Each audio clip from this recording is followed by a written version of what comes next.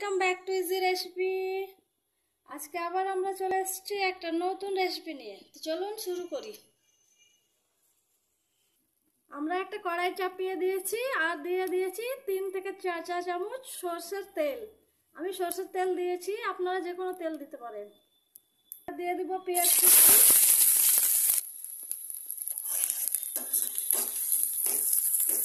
একটু হালকা বাদামি করে ভেজে নিয়েছি, তারপরে দিয়ে দেব এক চা চামচ আদা, রসুন ও লঙ্কার পেস্ট।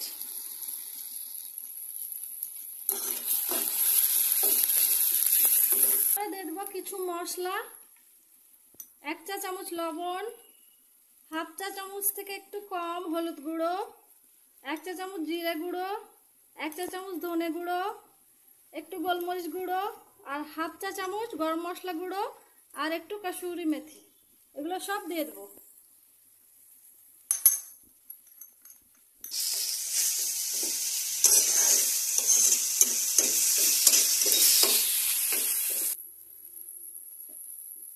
মশলাটাকে দুই থেকে তিন মিনিট ভালো করে ভেজে নিয়েছি। তারপরে দিয়ে দেব আলু। আমরা তিনটে আলু, মিডিয়াম সাইজের আলু নিয়ে নিয়েছিলাম। ওগুলোকে সেদ্ধ করে চটকে নিয়েছি।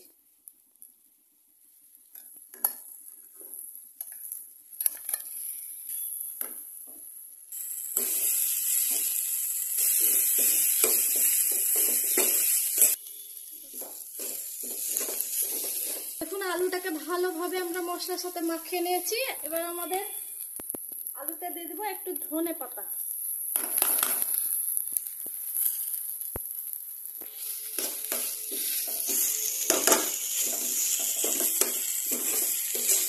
গেছে। এবার এটাকে আমরা নামিয়ে নেব।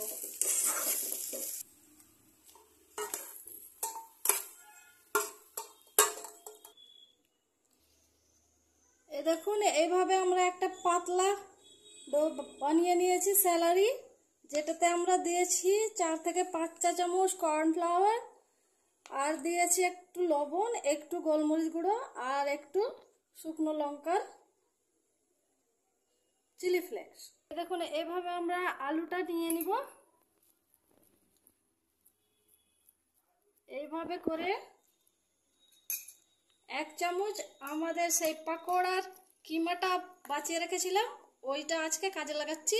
এক চামচ ভরে দেবো এখানে আলুর ভিতরে।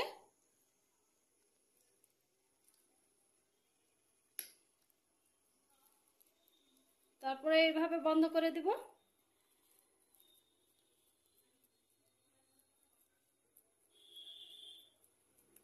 দেখুন এইভাবে।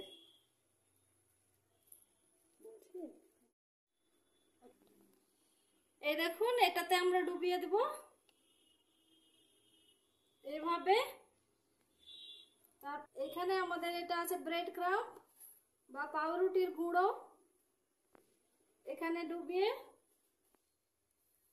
এভাবে তেলে ছেড়ে দেব।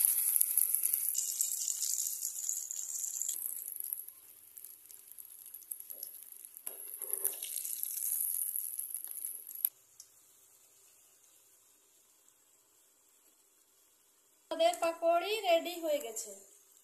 এবার আমরা সার্ভ করে নেব। এটাকে যে কোনো চাটনি বা সস দিয়ে আপনারা খেতে পারেন। আমাদের ভিডিওটা যদি ভালো লাগে থাকে, তাহলে আমাদের ভিডিওটাকে লাইক করবেন আর শেয়ার করবেন আর আমাদের চ্যানেলটাকে সাবস্ক্রাইব করবেন। Thanks for watching by